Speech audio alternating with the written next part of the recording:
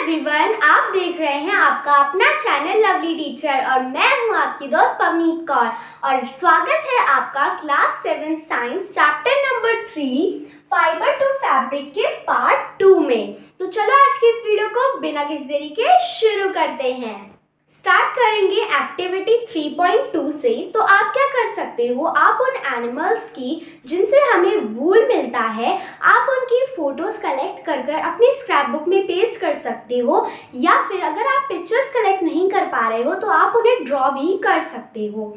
और आप ये भी फाइंड आउट करना कि उन्हें जहाँ वो रहते हैं, यानी कि जहाँ उनका हैबिटेट है, वहाँ पर उन्हें लोकल लैंग्वेज में क्या बुलाया जाता है और पूरे देश की अलग अलग भाषा में उन एनिमल्स को क्या बुलाया जाता है? जैसे कि शीप गोट याक ऐसे एनिमल्स की लोकल लैंग्वेज अब थोड़ा सा ध्यान हम एक्टिविटी 3.3 की तरफ़ भी देते हैं। तो यहाँ पर आपको क्या करना है? यहाँ पर आपको इंडिया और वर्ल्ड का मैप लेना है और आपको अलग अलग जगह अलग अलग कलर का यूज़ कर कर डिनोट करनी है फाइंड आउट करनी है कि जो वूल यील्डिंग एनिमल्स है, वो इस मैप में कौन से पर्टिकुलर एरिया में पाए जाते हैं।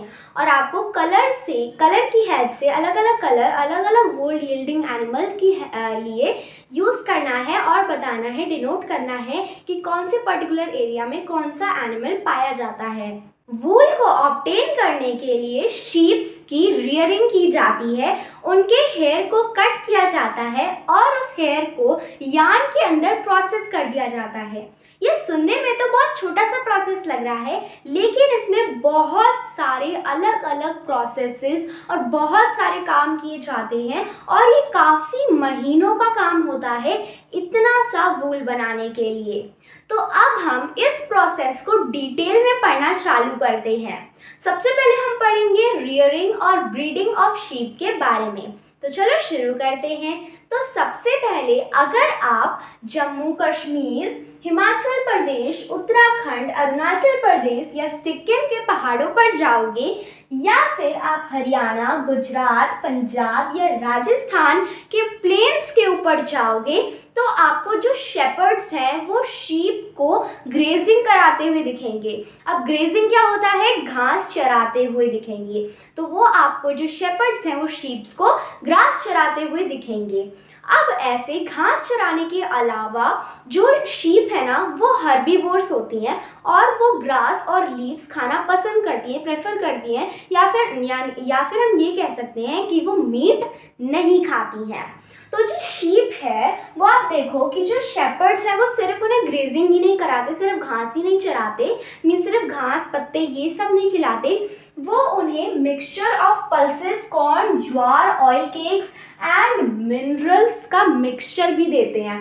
पहले पल्सेस जो हमारी दालें होती हैं कॉर्न यानी कि भुट्टा कॉर्न जो हमारा होता है, ज्वार और ऑयल केक्स क्या है यहाँ पर? ऑयल केक्स वो होते हैं जो कि हमारे सीड में से, जो भी सीड्स होते हैं, जिनके अंदर से ऑयल मिलता है, जैसे कि मस्टर्ड सीड्स उनके अंदर से ऑयल निकालने के बाद का जो मिक्सचर रह जाता है उसे हम कहते हैं ऑयल केक्स और मिनरल्स का मिक्सचर भी खिलाते हैं उन शीप्स को। और जब विंटर का मौसम होता है, यानी कि जब सर्दी का मौसम होता है तो जो शीप्स हैं, उन्हें इंडोर रखा जाता है, यानी कि उन्हें बाहर नहीं निकाला जाता, नहीं तो वो बीमार पड़ जाएँगी। और उन्हें लीव्स ग्रेन्स और ड्राई फॉडर खिलाया जाता है। हमारी कंट्री इंडिया के अंदर काफ़ी सारी जगह पर शीप्स को रेयर करा जाता है।